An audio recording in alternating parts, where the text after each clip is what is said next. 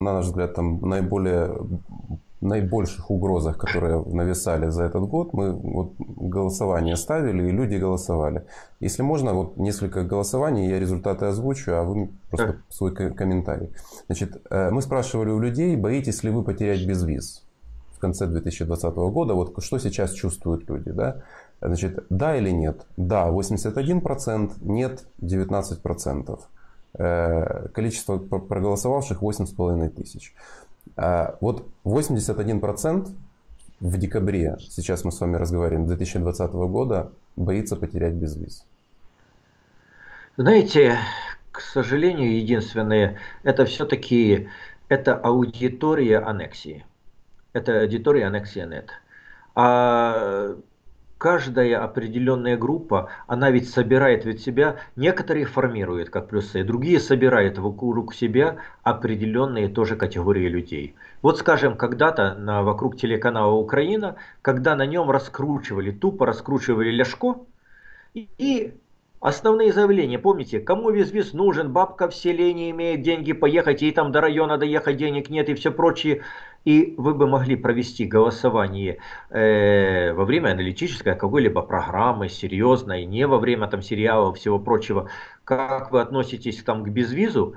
И у вас бы там совсем другой перекос, совсем другую сторону. Просто есть интеллектуальная часть и есть не очень интеллектуальная часть. И определенной части людей что-то вкладывают в голову. Хотя на самом деле безвизом на сегодняшний день все больше пользуются те, которые к нему как бы относились безразлично, но пользуются. Вот я знаю, скажем, с Польши, это реально от самых близких людей, знаю информацию, что основная масса украинцев, которые работают в Польше, это э, э, не украиноязычный, украиноязычный э, гражданин Украины западных областей. Нет, это русскоязычный представитель Донбасса, Харьковщины, э, Средней Украины. Уже теперь пошел юг Украины.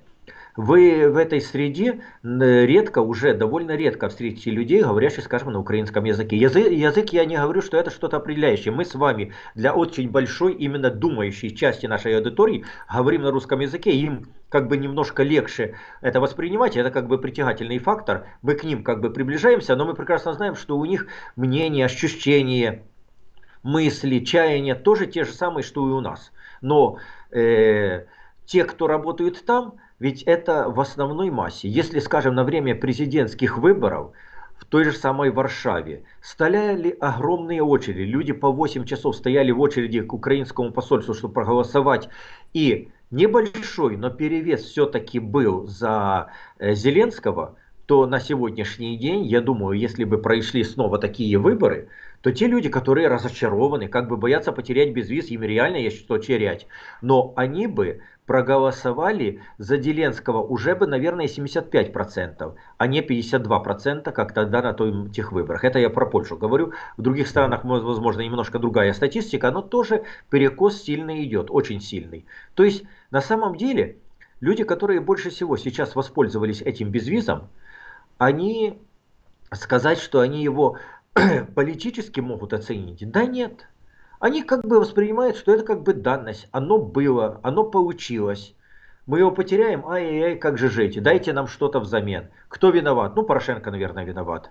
Как всегда. То есть, на самом деле, огромное число для себя не определяют это. Даже те, которые сейчас сидят, вот сейчас, в эту минуту, сидят в Польше, зарабатывают там деньги, э, они большой своей части к безвизу, как бы, когда вы им задаете этот вопрос, они как бы говорят, ну и что там, ну и безразлично, ну мы как-то справимся, мы и так как-то себе найдем свои контакты. То есть на самом деле есть вопрос как бы ценностей и есть вопрос цен, их использования.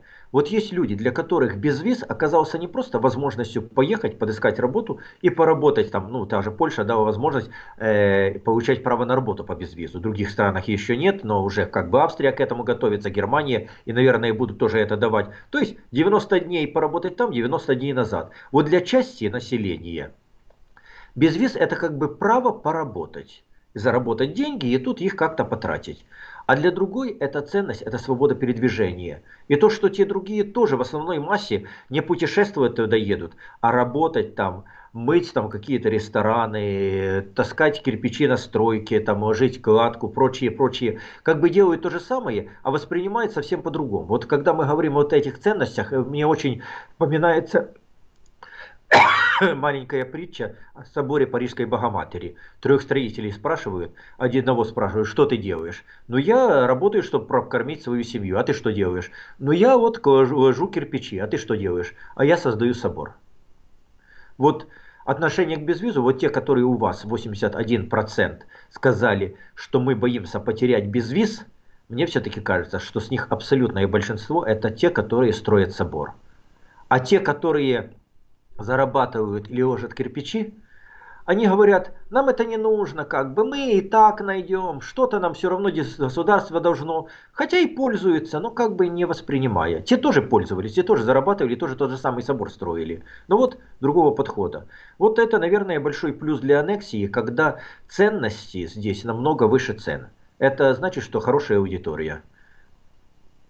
А потеря безвиза на самом деле, давайте поймем, на самом деле безвиз как ценность для нас уже год как бы утрачена. Потому что просто ощущение свободы, что вот я могу в любой момент сорваться и поехать. Дешевые перелеты у костами, да, нужно наперед, да, нужно научиться, да, нужно уметь в этих системах в интернете работать, выискивать, ну можно. В принципе, человек э, с довольно умеренным заработком мог сорваться и поехать немножко попутешествовать, чуть-чуть. Просто почувствовать себя свободным э, вне нашей серости.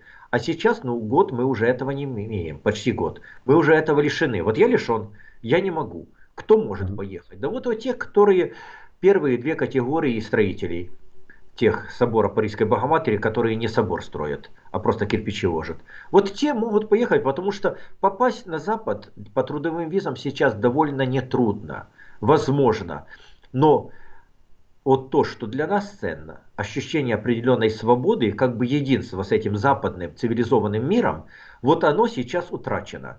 И вероятность того, что оно возобновится, как бы нет. Потому что, с одной стороны, мы нарушили уже все, что можно нарушить э, по э, договору о безвизовом режиме.